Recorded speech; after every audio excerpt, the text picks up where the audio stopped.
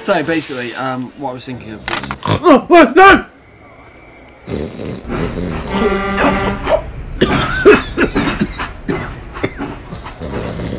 Yeah, you gonna finish that garlic? Thomas! What's going on here? I don't pay you to sit there and doze off and do nothing all day! like you pay me at all your weeks, simpleton. Last time you paid me was when you bought me. Ha, lol, get wrecked. And what gives you the right? excuse me, excuse me. To just waltz along in here and spoil my special honeymoon dream. I don't care about your stupid money hoon dream. I expect you to get to work.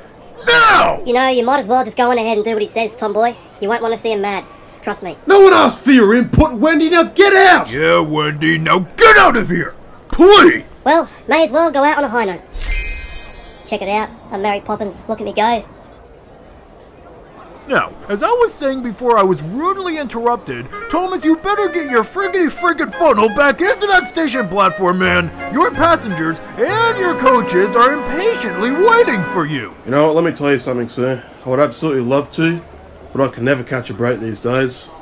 What's the problem now? Oh, to put a long story short, Bertie is the problem. It's all hey, want to race this and hey, want to race that. It's driving me nuts. Oh, I'm so sorry, man. I'm just trying to find the part where that's my problem. Right now, you listen to me. From my point of view, he's become a little bit too obsessed with his racing shenanigans over time. And frankly, you know, too.